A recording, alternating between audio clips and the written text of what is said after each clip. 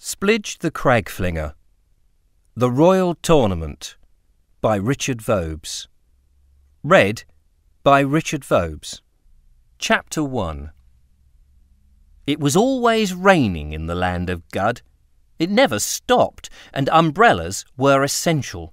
One boy who didn't have an umbrella was Splidge. He was dripping wet and soaked to the skin, and surprised the city hadn't flooded long ago. Seeking shelter, the boy ducked under the arch of the venerable market hall. The ancient timber framed building sat on tall stone pillars in the city centre and made a perfect respite from the constant drizzle. As puddles formed around his shoes, Splidge shook the water from his bedraggled jacket and dried his sandy coloured hair with a handkerchief. Limey, he said, when he saw how wet it was.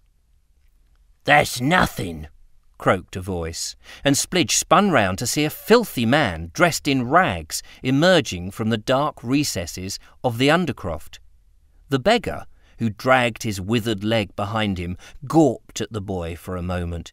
You wait till you're really wet, he grumbled, and then he hobbled out into the curtain of rain and limped away. Splidge watched the water cascading down the slate rooftops of the buildings opposite and flood into wrought iron gutters before it spewed out of hideous gargoyle spouts. These powerful jets of rainwater, he noticed, were a menace to pedestrians on the cobbled streets below. As if on cue, an elderly gentleman emerged from a tobacconist's shop underneath one such jet and got drenched in an instant. He cursed loudly at his misfortune and shook his fist when he spied Splidge giggling at him. Boy, why didn't you warn me? The man crossed the road and bashed Splidge on the head with his folded umbrella, then stalked off, muttering to himself.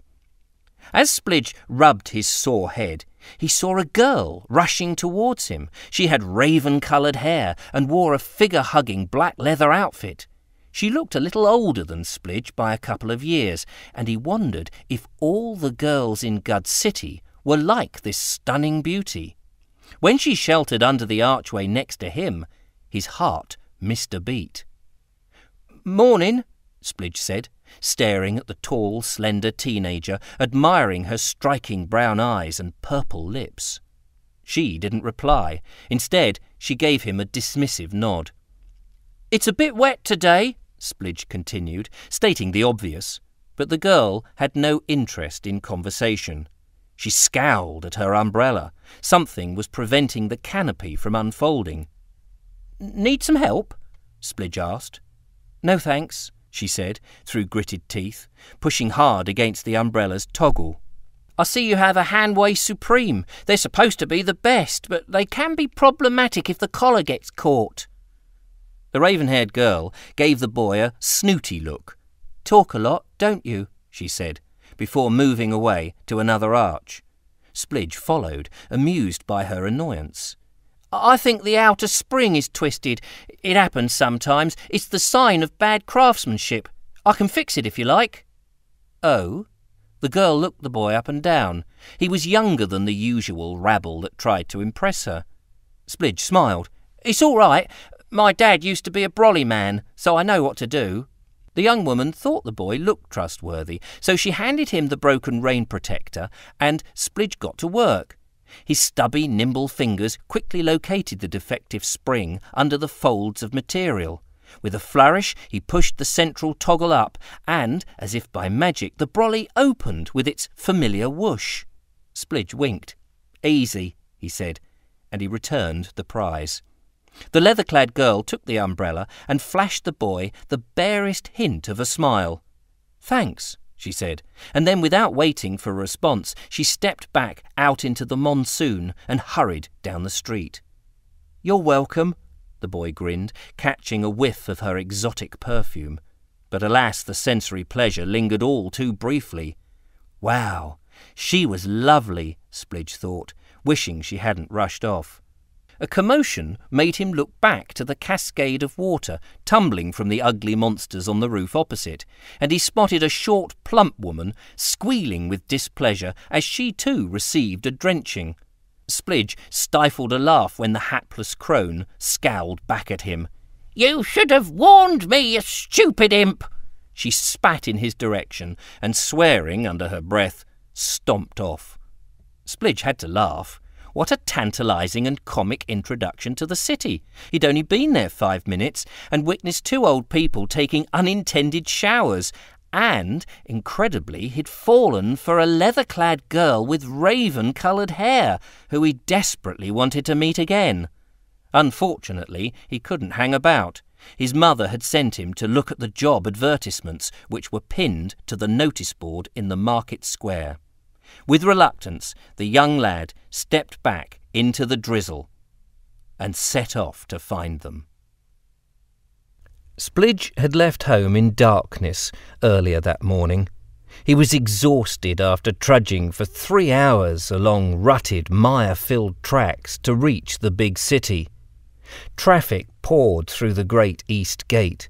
He dodged the splashes from travelling hawkers' ponies and clay thrown up by a train of pack horses.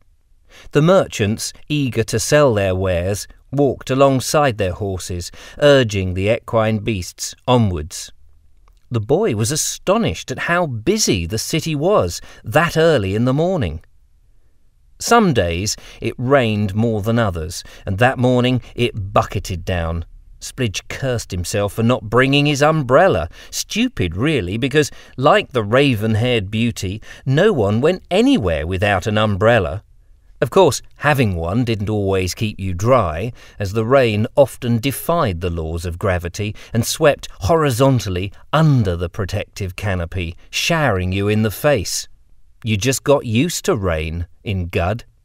A young woman rushed along the path carrying a sheath of papers under her arm, and Splidge waved to her. Excuse me, my name is Splidge. I'm looking for the market square. Can you tell me where it is, please? The lady paused, pulling her bonnet tightly around her head. Well, young man, it's nice to meet you. My name is Jane. The market square is easy to find. Follow the road and you'll come to the town hall, and behind that is the market square. Good luck. Splidge thanked her and hurried off down the road. A handsome fellow, wearing a top hat, called urgently to the lady. Miss Austin, Miss Austin, wait a moment. You've left your purchases in my shop. You'll need the quills and ink when you write your next book. From the town hall, Splidge crossed into the market square.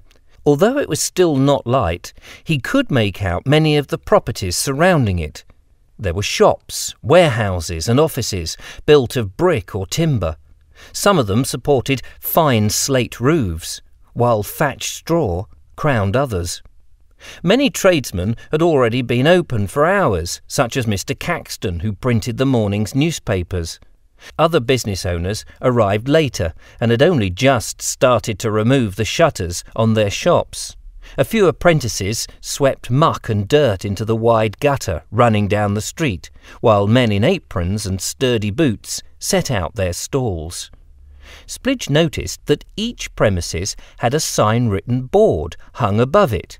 He read a few of them as he passed. Wren and Hook, Architects, Mr. Newton, weights and measures.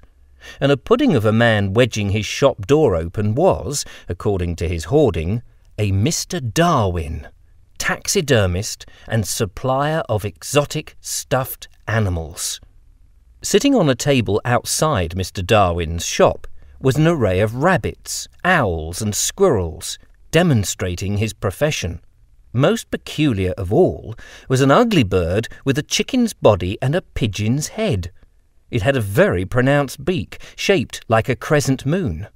A rare example of a dodo. The stuffed creatures stared ominously from their wooden plinths. Splidge prodded one. What are you looking at, boy? bellowed the overweight proprietor, banging his fist on the door frame. Oh, uh, nothing, sir, well, be off with you then, or I'll take you inside and replace your innards with horsehair and beeswax.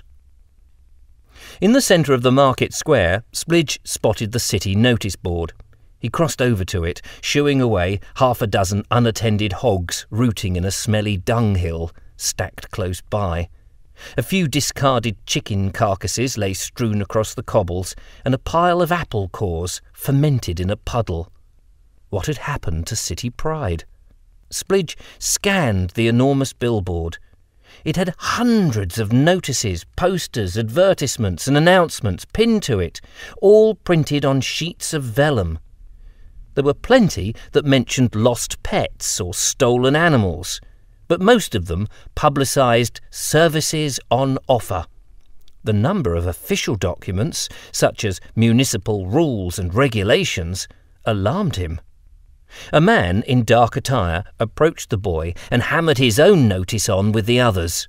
Hello, Sonny, his deep, resonant voice rasped. Mr. Ketch at your service. Beheading is my business. Know anyone who requires his head removing? Splidge swallowed. Um, uh, no, sir. S- sorry, I-, I don't. Mr. Ketch wiped his greasy hair away from his grubby face and glowered at the lad, eyeing up his neck with relish. Pity. Trade's been a bit quiet of late, he said, and he stalked away, taking with him an enormous axe. Splidge looked at the feller's notice with trepidation, but all it read was, Tree fella, same day service, reasonable rates. Splidge quickly looked for the job advertisements, which he found near the bottom of the board. There was one in particular that caught his eye. The wax seal and red ribbon intrigued him, and he squinted at the words. The rain running in rivulets down his face was almost forgotten. He tore the ink smeared paper from the rusty nail which held it. It was an official document from the palace. The large, bold letters, printed in black and gold, looked impressive, but unfortunately the words were smudged, and only a few were still legible. All of a sudden it was wrenched out of his hands. What you got there? demanded a tall, lanky boy. Uh, nothing, replied Splidge. The boy wore dirty, torn rags. His scrawny body was emaciated, and his haggard face had deep set lines, making him look old before his time. He glanced at the advertisement and then flung it on the ground in a temper. I thought it were food, he grumbled. You got anything to eat? I'm starving. Splidge felt sorry for the hungry boy, and he rummaged in his pocket and produced an apple. You can have this if you like. The boy snatched the fruit. Thank you, he said, before rushing away, as if his life depended on it. He tore down the street and disappeared into an alleyway. Splidge was astonished. He'd heard that the city was riddled with dangerous people, and he'd been warned to be very careful. But that boy obviously needed food, and Splidge felt glad that he'd been able to help him. Splidge picked up the fallen advertisement and studied it again. There was something about the young man's determined manner as he stood in the driving rain, deciphering the page of text in his hand. He appeared more grown up than he really was. He had only celebrated his twelfth birthday the day before, but in fact it meant he had come of age. Splidge was now officially a man. From today you must wear this jacket, his mother had told him before he left that morning. Is it my father's? Splidge asked, thrusting his arms into the ancient work coat his mother held out for him. No, it's your grandfather's. If your father had been here, he would have given you one of his. Splidge sighed. He's been gone for ages. It was very early in the morning and still dark, so Splidge held up a candle to look at his blind mother's kind face. Even though she couldn't see him, he knew she loved him very much. Yes, he's been away six long years, she said with a soft, gentle voice as she recalled the man she had married. Look, I have a cap for you, too. Now that you're all grown up, you must go to the city and search for work. Splidge's mother was right. The laws of Gud required everyone to get a job when they reached the age of 12. From that point on, childhood finished, and boys and girls joined the workforce. Fortunately, young people had the best chance of finding work. By the time they reached their midlife, say at 20, employment proved a lot harder. By 30, they were unfit for work, and those beyond 40 found that the Guddian god was waiting to snatch them away. I don't want you to leave us, Splidge's mother said, filling a little bag with a few slices of bread and an apple. But it's your duty, and your father will be proud of you if he ever returns. I will be fine, Splidge replied, thinking of the great adventure ahead of him. He had lived in that old house all his life, and he couldn't wait to earn a living and help pay for things the way his dad used to. Splidge's mother buttoned up her son in readiness for the wet weather. If you are lucky, you might be taken on as an apprentice to a blacksmith, or become an assistant porter, or a trainee mason, or even a carpenter. Splidge wished that he could be an umbrella maker like his father, but he knew it wasn't a proper job. People that couldn't get real work made brollies and sold them on the street. No one made a lot of money doing that, but at least it saved them from starving. The city was thriving. Herdsmen drove their oxen down the streets, and deliverymen unloaded barrels of ale at the inns and taverns from their heavily laden wagons. That morning, the proprietor of the Crown Hotel gave animated instructions to the driver of the Guddian Fly, a stagecoach with six fine horses, which were chomping at the bit, eager to leave. An assortment of wealthy travellers and sales representatives were crammed into the carriage. Dressed in all their finery, they flashed broad smiles, revealing their pleasure in leaving the dirt ridden city. They were in striking contrast to the lad, standing by the notice board in his shabby, second hand, sopping wet attire. Nevertheless, Splidge's old fashioned, moth eaten, and ill fitting clothes made him feel grown up and important. It was just a shame that, due to its great age and loss of protective wax coating, his jacket acted like a huge sponge and soaked up the rainwater. Hello, Splidge, a voice called. Splidge looked up and spotted a scruffy boy of similar age to him, clinging precariously to the top of a lamp post on the other side of the square. He crossed over to him and stared up at the lad with mild amusement. What are you doing up there, Snotty?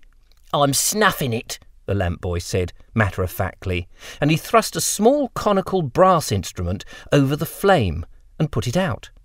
He slid down the lamp post to join his friend. "I've got a new job. I'm a lighter and snuffer now, he proclaimed proudly. The lamps of Gud are my responsibility, you know. Blimey, Splidge said, impressed. That's a good job. Splidge was small, but Snotty was smaller. No one had measured him, yet he could only muster four feet, even in his boots and battered top hat. A mixture of lamp oil, candle wax, soot, and ash covered his ragged jacket and trousers. His cheery face exhibited a ruddy complexion, and his nose constantly dribbled, which was not helped by his habit of thrusting his little finger into his encrusted nostrils and mining for bogies. Yeah, it's a good job, but with all that shimmying up and down these posts, he's wearing stinking great holes in me trousers. Snotty slapped the lamp post. Still, it's better than being a sluicer. A what? Not a lot of people know this, but under our feet are miles of subterranean tunnels. Really? What are they for? They're the drains, to wash all the muck out to the river. Splidge nodded. It sounded plausible. So what about them? They get blocked, don't they? Do they? Snotty laughed, hoiking out a crumbly green lump from his nose with his blackened fingernail. Yeah, blocked all the bleeding time. So you need a sluicer. Splidge tried to imagine what that must be like, to be sent down the sewers with all the filth, slime, and rubbish that is funnelled through the vents in the pavement. Earlier that morning, he'd spotted Mr. Chops the butcher tipping a bucket of cow offal into the kennel, a thin channel in the middle of the lane in front of his shop. The stinking intestines had slipped down the road until they plopped through the drainage hole. After that, he now knew they ended up in the tunnels below his feet and mixed with all the other putrid sludge. Yuck! Snotty saw the look on Splidge's face. Yeah, it's not nice, you have a paddle which scoops up the slops and you shovel it along. You have to clear the blockages sometimes with your bare hands. I mean, imagine it up to your waist in turds and floating carcasses. I don't want to imagine it. Well, that was my first job when I came to the city, Snotty chuckled, wiping a streak of soot across his face. Splidge followed the grubby midget to the next lamp post. Here, the sooty lad displayed the dexterity of a chimpanzee by climbing up its fluted shaft. With practice ease, Snotty slammed the snuffing tool over the gas fueled wick and then glided effortlessly down to the muddy ground once more, casting a broad smile across his cheeky face. He enjoyed showing off. Bravo! applauded Splidge. They'd been friends for as long as they could remember. When not helping their parents, not collecting firewood, not hauling well water by the bucket load, not digging for turnips, not grinding corn, and not sitting around the kitchen table assembling umbrellas to sell to the merchants, they ran amok. Snotty had reached manhood a couple of months before his curly haired friend, and soon latched on to the reality of earning his keep. The heady days of youth were now distant memories. Childhood evaporated fast. So what about you, Splidge? Have you started looking for a job? Yeah, my mother wants me to try and get something at the palace. Snotty rolled his eyes. What? Work for the king? That lazy lump? What do you mean? My father said the king was a good man. Then he must be the only one that thinks so. Since I've been lighting the lamps, all I hear is folk moaning about him. Why? Snotty gestured to the square. Well, look at the place. It's a pigsty. King Guddamac has let it go to rack and ruin, ain't he? Splidge agreed. The squalid streets and dilapidated buildings would require a huge investment to make the city grand again. Besides, the filthy lamp boy mused, flicking bogies into space, the palace is run by a bunch of old farts. He broke off as two girls came running towards them across the wet cobbles, splashing through the puddles, without a care in the world. Look out, warned Snotty with a big smile. It's the Terror Twins. Splidge laughed. I thought they were triplets. Didn't you hear? Peaky died. She got the pox. Oh, how awful, Splidge said. Malnutrition and poverty caused terrible suffering in Gud, especially for the young. However, when it came, death was still a shock. The girls thundered to a halt and grinned at the boys. They were dressed in grubby cotton pinafores over a coarse blouse, and they each clasped an umbrella. They had to be earning a good wage, as they both wore quality boots made from leather. What you doing? the tallest girl asked. Snotty tried to wipe the soot away from his face, but only made it worse. Working. And you, Freckles? We've got a job with Mr. Chops at the butcher's, the smallest girl said. It's true, the tallest added. We don't get to hack up the meat yet, but there's loads of blood. Yeah, mostly we pluck chickens and mince up pigs' brains, but it's honest work. Blimey, Splidge expressed surprise. I never thought I'd see the day when you, Lucy Longtrousers, had a job, he laughed. I mean, I thought you were going to marry a rich man and live in a posh house. Hm, that's just a schoolgirl's dream. No rich man's ever going to marry me unless you make a fortune quick, Splidge she said, giving the boy a cheeky smile. And then, more seriously, she said, I have to work, because I'd starve without a job, wouldn't I? Have you got something yet? Splidge started to tell them about the advertisement he'd found on the notice board, but Freckles, the smallest girl, interrupted him. Here, have you heard? Porky's up the brewery. No, he never is, Snotty frowned. Yeah, only working for. You know who? Who? Splidge asked. The Baron, Lucy Longtrousers answered. Who? Splidge asked again. The Baron, that's who. Anyway, Porky, he's a liquor. Snotty scoffed. He does what? He, he drinks the liquor? Now that's the sort of job I'd like to do. Freckles poked the sooty faced lad in the ribs. Stupid, he's a label licker. She could see that the boys didn't understand and rolled her eyes at their ignorance. You daft nitwits! Freckles grinned at them. Porky's sticking labels on the beer bottles at the brewery. He licks them and sticks them. But that's dangerous. The gum will kill him. Snotty knitted his eyebrows together. You think so? Freckles said. What's the matter with the gum? Splidge knew nothing about what went on at the big smelly brewery. It's the stuff they stick the labels to the bottles with. It's made of some chemical the Baron uses because it's cheap, but rumour has it it's poisonous. Snotty said. Is it? Yeah, very. Do you remember Larry Lame? Um, you know, the lad with the limp and the withered arm. Oh, yeah, how could I forget him? Older boy, wasn't he? He left school before us. Yeah, well, he worked for the Baron, like Porky. He licked them labels, and he turned green. He was dead within a month. Blimey.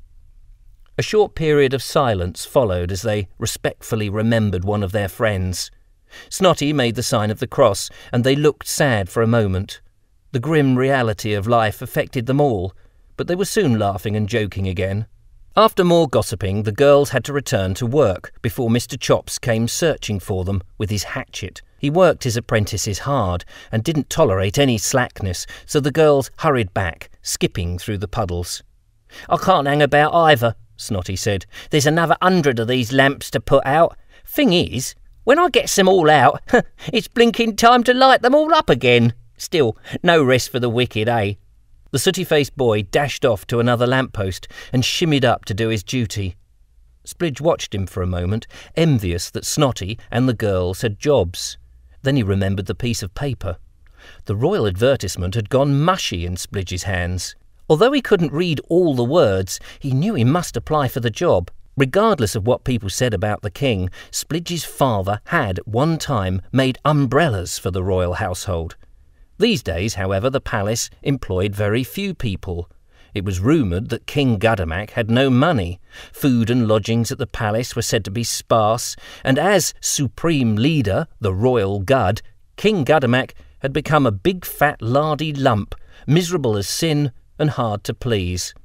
Working at the palace did have the advantage of prefixing your work title with the prestigious sounding label Royal.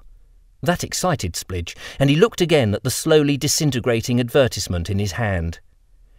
His Majesty, the Royal Gud, is seeking a smudge to come and work for him at the palace. The new employee will be well rewarded and expected to smear in the national big blotch. Experience was mush. The rest of it had washed away. It didn't matter. Splidge got the gist, and he grinned. He didn't care what the actual job involved.